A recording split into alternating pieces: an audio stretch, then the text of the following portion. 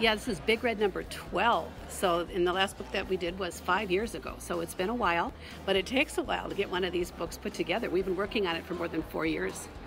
And so, we've been gathering trends and what's new and hot, you know, the whole time you know, way before we even start working on the book, just start gathering those things. And what we need to kind of do, which is kind of interesting, is try to project because the book won't be out for four years after we're working on it. What will be hot? What will be exciting? What will people want to be cooking then? And so that's kind of the challenge and the excitement of, of adding what's new. And it's really fun to see like some of these things now that were put into this book starting to appear. Like I just saw some articles on Shakshuka the other day. I'm like, yes, we got that. You know, so it's really exciting that way.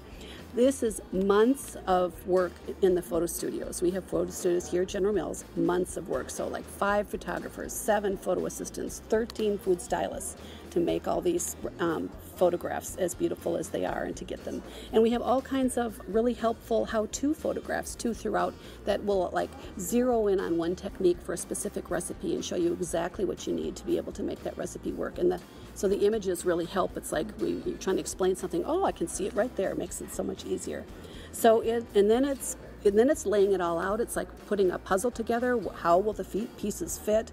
You know, and we we really worked at any time there was any space, what else could we fill? What else would people want to know about? What's the difference between grass fed and grain fed beef? Or what is pearled barley versus hulled barley? Or here's three more ideas for how to use canned corn or things like that. So we just jam packed it full.